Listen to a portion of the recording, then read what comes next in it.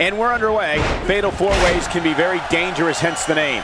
A participant wants to stay out of harm's way as much as possible and whenever possible. Let your opponents do the work. Very, very painful hold here. What's he gonna do? Ah! And he escapes the hold. Moves like that can upset your opponent more than hurt them. He's not too keen on sharing the ring with his opponent.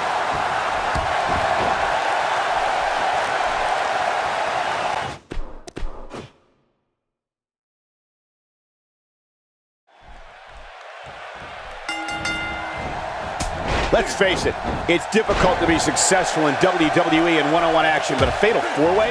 A competitor has just a 25%... Oh my, there's the submission hold. He's in the driver's seat now. What's he up? Hey! And he fights out of it. He breaks the hold.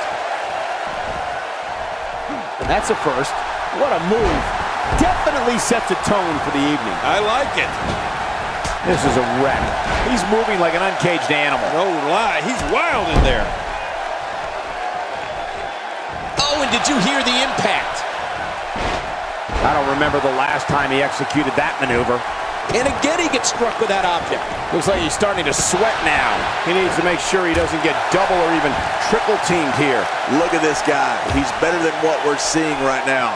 And on top of that, John, these two guys couldn't be any more evenly matched at this point.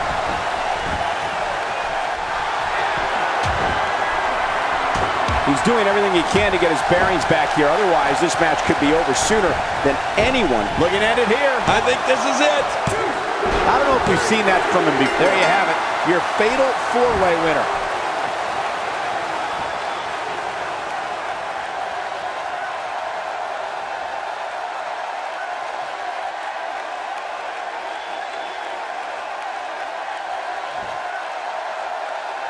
Here's your winner, Dan Trowell. What a thrilling fatal four-way match that was, guys. Wow, I can't believe what these four competitors just put their bodies through. What a battle. Thank you for tuning in tonight, folks. We hope you enjoyed that great match.